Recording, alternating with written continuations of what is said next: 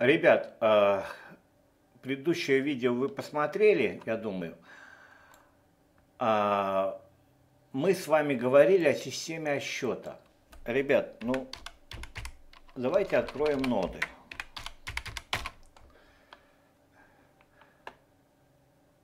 Если вы не сделаете то, что я вам говорю, то у вас всегда будут, будет путаница. То есть вы не будете ожидать, не будете, э, будете ожидать одно, получать другое.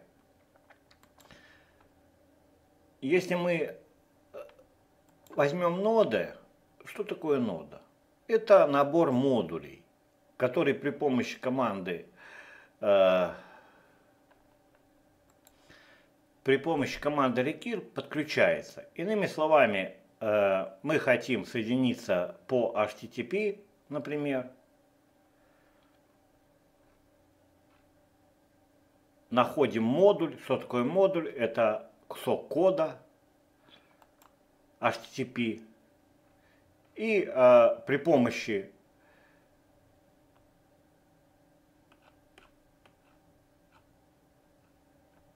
при помощи, э, сейчас секундочку, ключевого слова рекир подключаем данный модуль.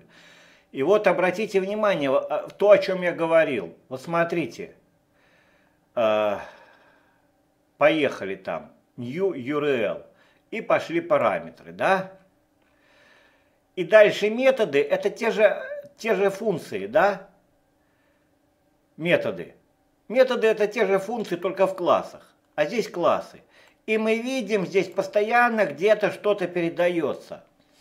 Скажите, пожалуйста, когда у вас будет система, вы будете четко понимать, как у вас передастся и ожидать результат, тогда это будет действительно написание кода. Все остальное это будет мучение. Поэтому первая зада основная задача начинающего программиста, который начинает работать с JavaScript это э, быть в роли, как это правильно слово такое сказать, исследователя.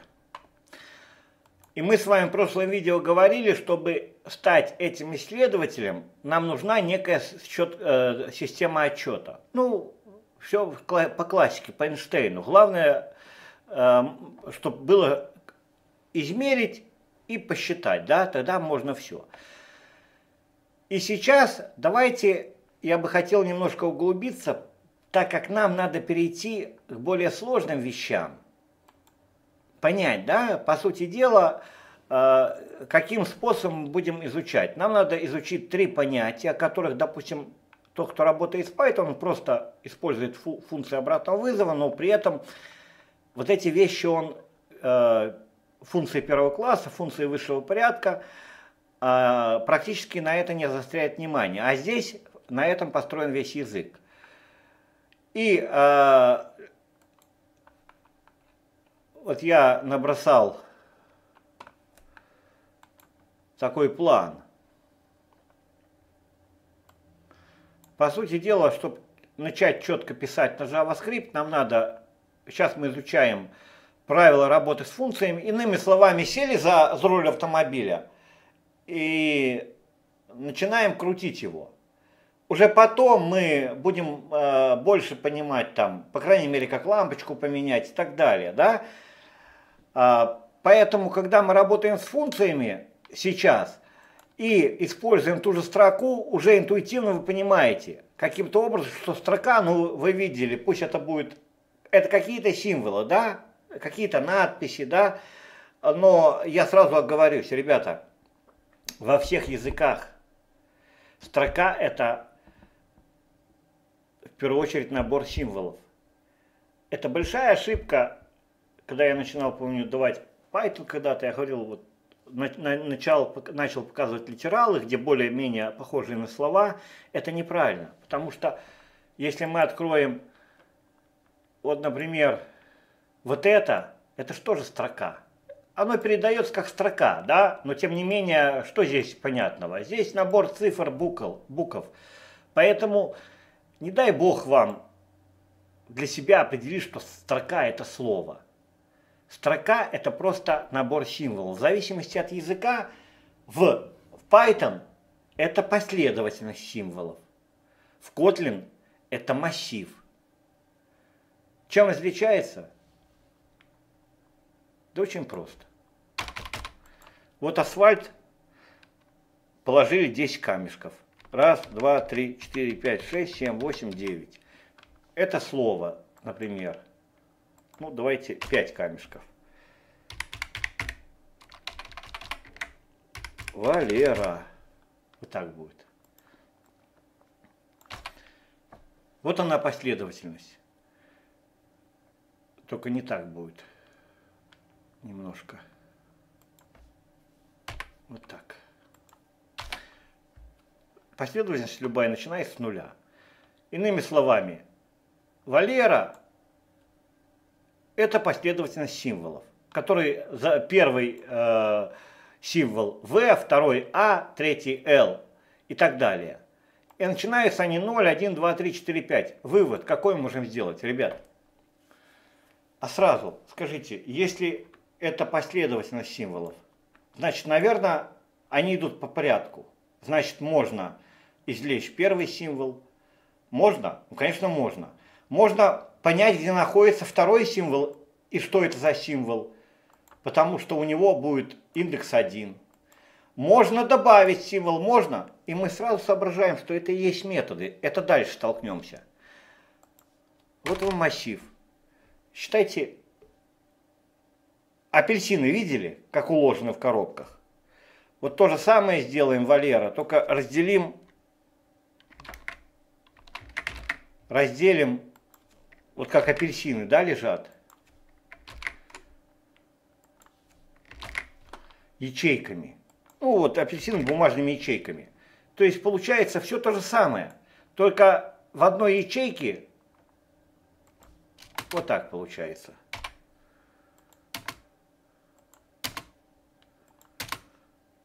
В одной ячейке одна буковка. Тоже удобно. Мы же можем получить массиве, обратиться к второй ячейке и вытянуть буковку А. Можем. Зачем я это сказал?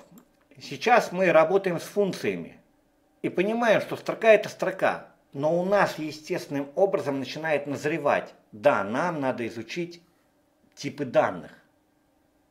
А зачем их изучать? Вот э, представьте, участники школы знают, а начинающий программист, когда начинает читать книгу, он читает типы данных там, массив строк.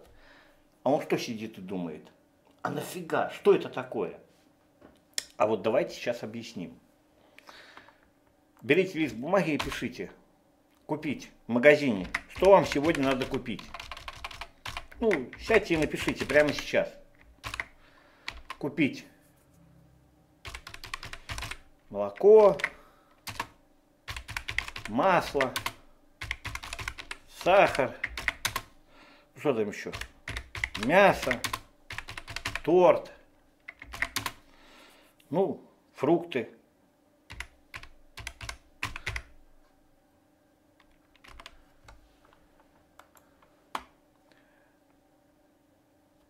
в жизни перед вами, это мы немножко отвлекаемся, перед вами список. Вот сейчас напишите это, пожалуйста, напишите. Перед вами список. Что вы можете с этим списком сделать? Вы можете его порвать, вы можете дописать, вы можете зачеркнуть, переменить. А вот, например, в Python тоже может такой список сделать. Только его надо как-то обозначить. И вот Python понимает список как две квадратные скобки. Это для него тип данных список. И по сути дела вот это у нас бумажный список.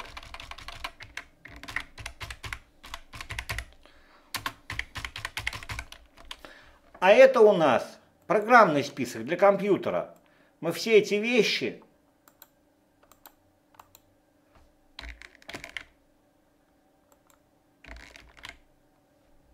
можем разместить, можем разместить вот это бумажный, а вот это уже список, который поймет язык Python. А значит, если это список, то мы уже логически соображаем и начинаем изучать. Значит, у списка есть что? Методы. То есть какие-то действия можно с ним делать. Например, посчитать, сколько здесь э, всего э, мы написали. Раз, два, там, три, четыре, пять, шесть. Например, заменить торт на что-то. Например, добавить. Именно так происходит программирование. Но все это я хочу, чтобы мы делали в пределах функций. Понимаете? Когда мы работаем с функцией, мы уже программируем. Когда мы начинаем изучать только сами типы данных, у нас начинается в голове путаница. Хотя, с одной стороны, это правильно, но я пришел к выводу, что надо делать совсем наоборот. Поэтому мы с вами работаем с функциями сначала и делаем выводы, а потом начнем изучать типы данных и уже делать некие действия с функциях. Вот, например, вот это могли быть комментарии, а значит, мы могли бы вывести все, либо там третий комментарий, да, там в Django, и так далее, и так далее. Все, что угодно. Все, пока это убираем, это первичные данные. Давайте вернемся к тому, э, что мы начали в первом видео. Итак, вот в таком варианте, вот в таком варианте, если первый параметр без по умолчанию, а дальше идет по умолчанию, мы можем передать одно значение. Помните, я вам э, показывал ноды, да? Там все надо где-то вписывать и передавать. Там куча объектов. И если у вас в голове не будет порядка, как работать с функциями, то в принципе его нигде не будет. И уже никогда не будет. Потому что, как вы заметили, JavaScript, он все стерпит. Но тем не менее, как мы увидели, что здесь есть какие-то вещи, которые работают, да? Работают так, как мы хотим. Итак, первое. Когда мы передаем, просто есть параметр и второй параметр по умолчанию. Нам достаточно передать один параметр. Раньше так не было, раньше надо было проверять, но это сейчас не, не так важно. Нам важно, что сейчас. Значит, и оставит дальше. Мы действительно получаем 45-55, мы передали только 45. А вот теперь давайте попробуем за этим параметром написать параметр 3. И попробуем передать 45 и здесь 90.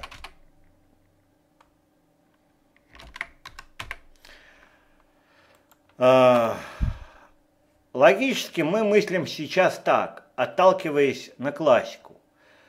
Ну, э, классика в чем заключается? Что так писать в языке, в котором есть позиционные Параметры нельзя, потому что если начали, начало, начали мы писать умолчание, дальше все должны идти умолчание. Я считаю, что мы возьмем это правило тоже потом.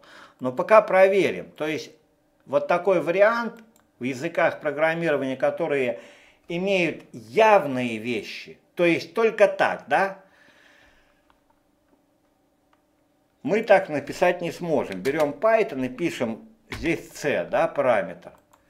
То есть получается, смотрите, среда даже его подчеркнула. Ну, чтобы ей было легче, c. Но тем не менее она подчеркнула. То есть она сразу указала, что это нельзя. Но мы попытаемся запустить этот неверный код. И мы видим следующее.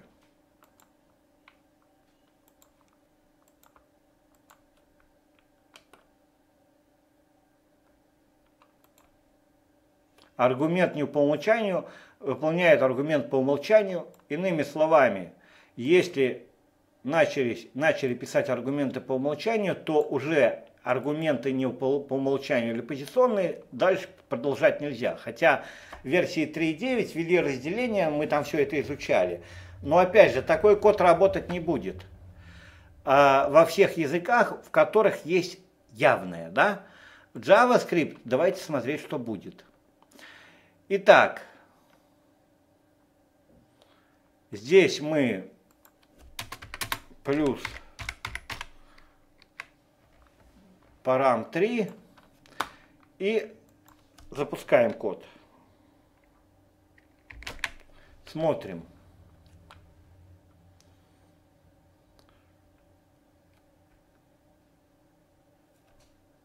То есть JavaScript не брезгливый. Это сразу видно. То есть мы смотрим 45-90. Иными словами, значение 1 передалось парам 1, значение 90, то есть 45 парам 1, парам 2, которое было по умолчанию. А третье undefined, то есть не определено. По порядку. То есть классический вариант не работает, да? По порядку. Даже если э, не, не определено. Но, ребят, вот это плохая идея. Так нельзя писать. По одной простой причине, что э, это будет нелогично. Значит, давайте мы с вами вот так попробуем. Парам 3 присвоим значение, ну там будет 60. А здесь оставим то же самое.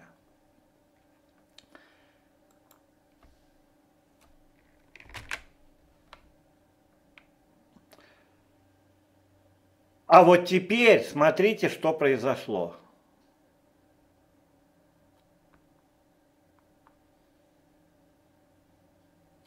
Вот теперь мы получили результат ожидаемый.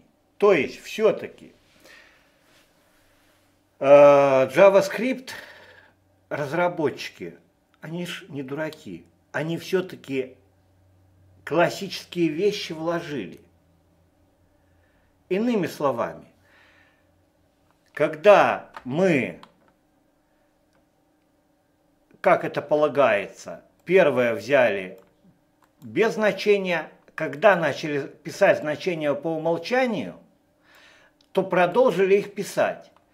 И в результате, что мы получили? Мы ввели только два значения. 45 передалось парам 1, 90 парам 2, а вот в данном случае парам 3 отработало, оно автоматом пришло 60. Значит, делаем себе вывод. Такой код писать можно. Мы четко понимаем, что если для себя берем правило, что если мы начали писать по умолчанию, значит продолжаем их писать до конца. Тогда мы четко знаем, что все параметры, то есть дальше аргументы заменятся, которых не будет хватать, на по умолчанию. Хотя в этом варианте, давайте еще один вариант возьмем.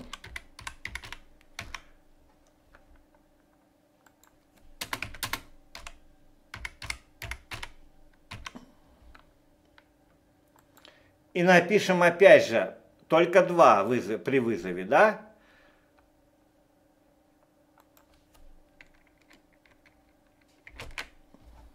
Что имеем? Имеем 45, 90, 60 по умолчанию заменилось undefined. Ну, в принципе, мы два передали, Три отработали.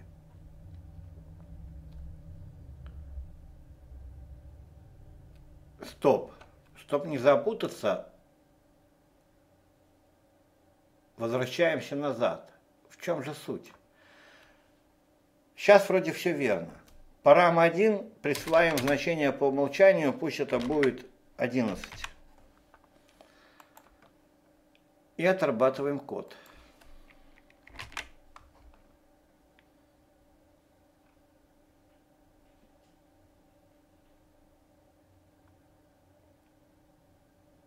45, 90, 60 undefined. То есть 45 парам 1, 90 парам 2, дальше 60, дальше парам, парам 3.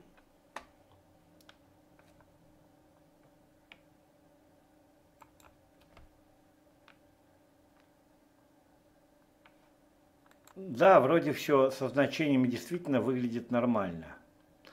Но давайте пойдем немножко по-другому. А вот тут мы это уже делали. Парам 4 присвоим значение 45. А парам 1 присвоим значение 90 и отработаем.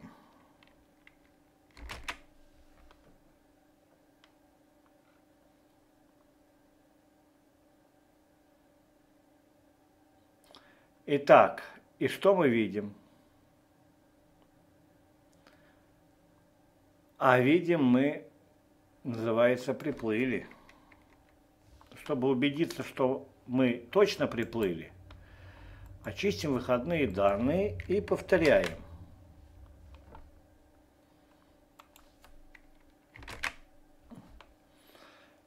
И оказывается, мы говорим, да, это писец. Смотрите. Парам 4 мы присвоили значение 45, то есть вот этому.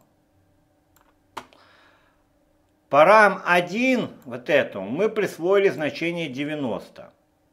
Но на выходе мы получаем немножко совсем не то.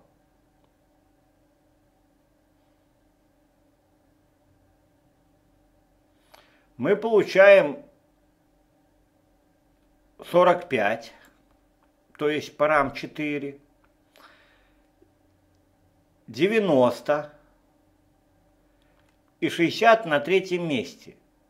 Но четвертое место – у нас все равно undefined. Иными словами, мы бы хотели ожидать, что, как бы было, мы хотели ожидать, чтобы вывод был следующий. Нам бы было удобно, да, чтобы это поддавалось логике. Было бы 90, но ведь мы парам 1 присвоили 90, значит он бы и шел первый, было бы 90. Дальше – Не, парам 4, э, парам 4, да, 40, парам 1,90, парам 2, 55, парам 3, 60, и парам 4, 90, 45. По сути дела, у нас есть ведь три остальные все у нас же определены по умолчанию. Но э, тогда вопрос, а какого черта в данном случае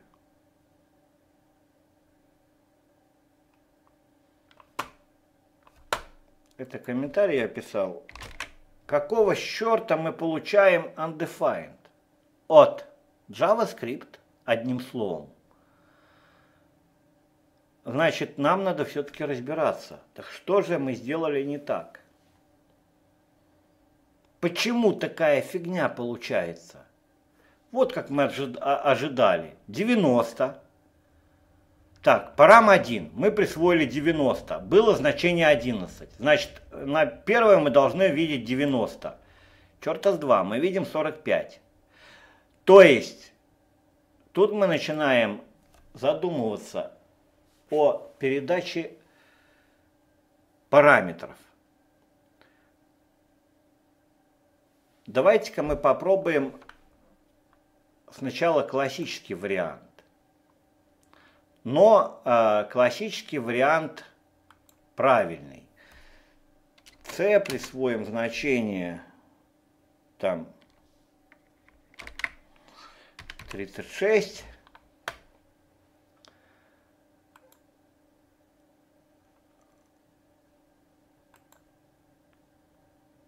Итак, и здесь делаем так.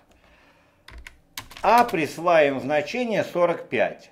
То есть ожидаемый вывод какой?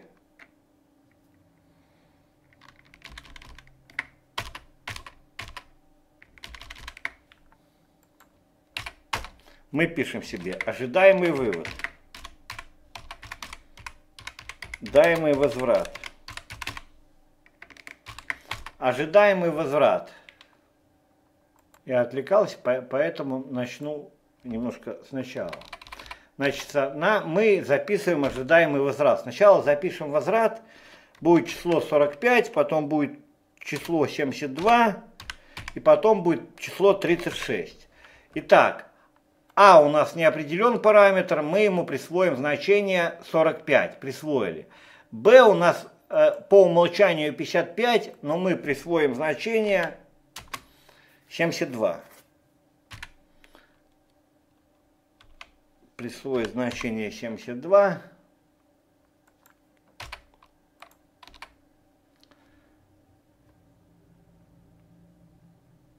Это буду писать как обычно. Пусть это будет тоже строка.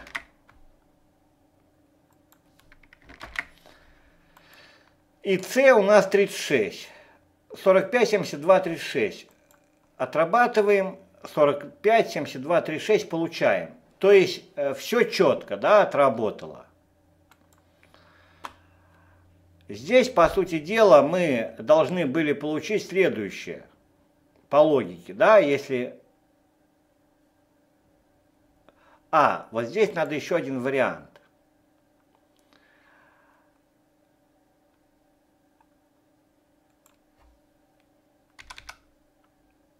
Ой. Давайте-ка изменим. Напишем фан. С присвоит значение 50.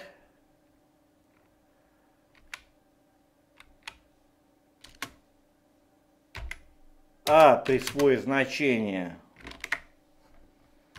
80 а b ничего не присваиваем. Значит, смотрим, что здесь произошло.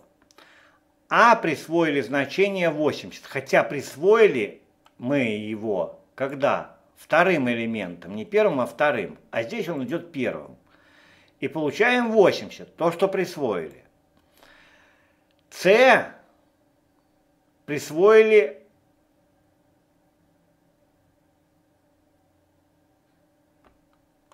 С присвоили 50. Но у нас потом идет Б 55, а потом третьим идет С, которому присвоили 50. То есть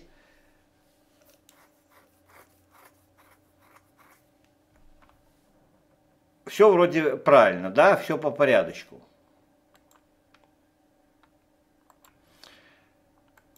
Давайте еще раз запускать эту программу и смотреть. 45, 90, 60 undefined. Мы присвоили параметру 4 45. Вот он. Он был. Все остальные у нас с значением по умолчанию. Тогда какого черта у нас не выводится? Значит, все-таки дело в том, что надо разбираться, а каким образом передаются аргументы параметра. Вот тогда будет порядок в голове. И классическая схема здесь не работает. Но ведь принцип должен жить какой-то. Ведь есть э, ESMAScript, да, где есть определенные вещи, которые работают. А нам уж очень нужно, потому что мы будем передавать в методах это те же функции, да, где будет первый параметр, второй параметр, третий и так далее. В конце концов, надо передавать и надо четко понимать. А четкого понимания пока нет. Что делать? Искать, в чем причина. А причина получается здесь в том, что нам в голове надо сообразить, а как же будут передаваться аргументы параметрам, то есть функцию. И если на выходе мы видим, то получается сущая белиберда. Мы заметили, что расстановка параметра на самом деле имеет значение. Значит, все-таки язык, так как он себя относит к функциональному программированию, не так он, он прост. Мы можем, конечно, опираться на правило, что он стерпит все, но, ребят, согласитесь, когда мы планируем получить одно и определив параметр 4, а все остальные вроде бы у нас должны по умолчанию вывестись, то мы в любом случае, даже если мы определили параметр, который не определен, да, который не определен, и получаем undefined, то есть, иными словами, наша программа выкидывает ошибку, и мы не понимаем. Вроде бы все определено, а нифига не работает. Потому что мы-то рассчитывали, что параметр 4 мы присвоим значение. Остальные все должны в любом случае отработать, они по умолчанию. А давайте-ка попробуем вот что сделаем.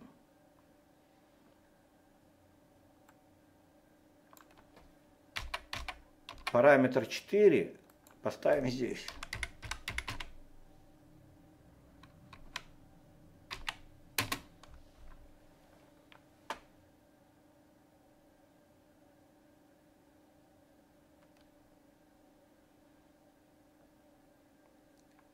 И чтобы у нас было понятно совсем, параметр 4 здесь поставим первым. При возврате, да? И давайте попробуем отработать.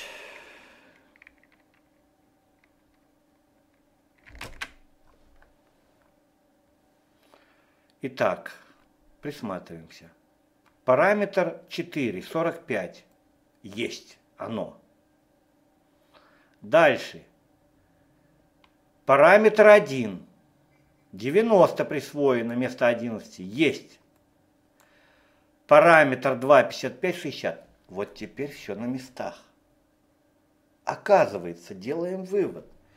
Все-таки, если мы будем придерживаться классического варианта, принятого во всех языках, то разработчики JavaScript тоже это приняли, я так понимаю. Мы видим это. Когда у нас есть параметр, где не определено значение, и начинаются идти, мы начинаем писать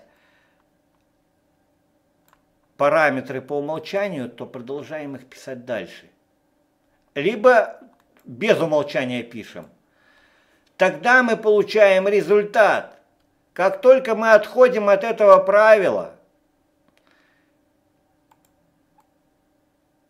демонстрируем себе.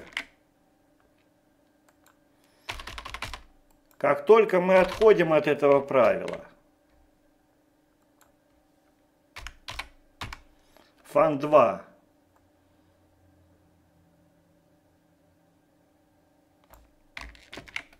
и вообще у нас идут параметры по умолчанию – а потом бац, вот, изучает JavaScript.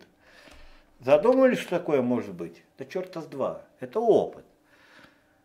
Вы просто прочитали, что параметры можно сколько хочешь. А тут оказывается программист когда? Программист. Когда он понимает, чего ему ожидать. И когда он это получает. Вот так, парам 4. Здесь ставим на место парам 4. Здесь убираем.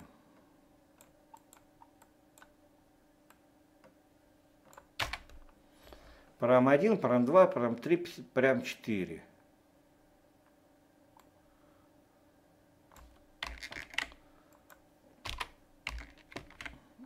Мафан 2, Майфан 2 запускаем. И смотрите, кардинально меняется картина. И мы наконец-то делаем первый стабильный вывод. Вот это, когда идут параметры по умолчанию, мы не называем в JavaScript э, что это позиционный параметр, так как он не позиционный, он не, нету здесь таких правил, так как он, по сути дела, все равно имеет значение undefined. Мы говорим другое, символический параметр, как они его называют, да? Но тем не менее, когда мы видим, идет значение по умолчанию, а потом обычно символически без значения, то оно работает черти как. Мы получаем совершенно не то, undefined, хотя вроде бы, вроде бы параметру 4 мы передали 45, а оно передается каким-то образом параметру 1 мы разберемся еще дальше. Значит, делаем, хотя в первом варианте, который мы достигли наконец-то, мы достигли стабильности. Иными словами, правило очень простое.